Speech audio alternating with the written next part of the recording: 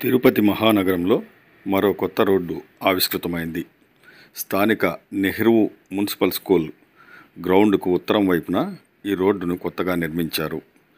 ఎనభై అడుగుల విస్తారమైన రోడ్డు ఏర్పాటు చేసిన కారణంగా రామకృష్ణ థియేటర్ రోడ్డు మార్గంలో ట్రాఫిక్ని ఇక మీదట బాగా తగ్గించవచ్చు. ఈ కొత్తగా నిర్మించిన ఈ రోడ్డుకి అచ్యుత దేవరాయల మార్గంగా నామకరణం చేశారు.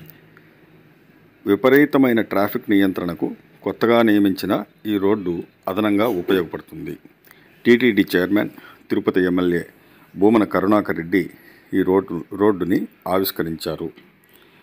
తిరుమల శ్రీ వెంకటేశ్వర స్వామివారికి విశిష్ట సేవలు అందించిన అలనాటి భక్త శిఖామణి అచ్యుత దేవరాయల పేరిట ఈ రోడ్డుకు నామకరణం చేశారు. ఇదివరలో ఉన్న పాత రామకృష్ణ డీలక్స్ రోడ్డు మార్గం గుండా స్విమ్సు బర్డ్ రూయా ఆసుపత్రులకు వెళ్ళే వాహనాలు అంబులెన్స్ల కారణంగా విపరీతమైన ట్రాఫిక్ రద్దీ ఏర్పడేది.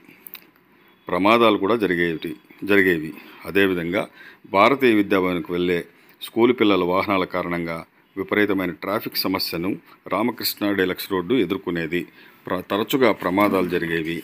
ఈ విషయాన్ని తాతయ్యగుంట గంగమ్మ గుడి chairman Katta Gopi Yadav deputy mayor Abhinay Reddy Abhinay Reddy దృష్టికి తీసుకెళ్ళడంతో ఆయన చొరవ తీసుకుని ఈ రోడ్డుని నిర్మించారు. గంగమ్మ గుడి గుడి ఆలయ చైర్మన్ గిరిపురం వైసీపీ నేత కట్టా గోపి యాదవ్ ఈ సమస్యని ఇక్కడ ఎదుర్కొంటున్న ట్రాఫిక్ సమస్యని తరచుగా జరుగుతున్న ప్రమాదాలని అభినయ్ రెడ్డి దృష్టికి తీసుకెళ్ళడంతో ఆయన వెంటనే స్పందించి ఈ నూతన రోడ్డు ఏర్పాటుకి చర్యలు తీసుకున్నారు. రోడ్డు నిర్మాణం పూర్తి చేశారు. ఇప్పుడు ప్రారంభోత్సవం కూడా నిర్వహించారు. మున్సిపల్ ఆఫీస్ ముందు వైపు నుంచి అచ్యుత దేవాలయాల మార్గం స్థానిక అలిపిరి రోడ్లోకి మీదకి కలుసుకుంటుంది. స్థాని వాహనాలు రాకపోకల్ని క్రమబద్ధీకరించడానికి వీలుగా వన్ వే అమలు చేసినా కూడా ఈ రోడ్డు ఉపయోగపడుతుంది.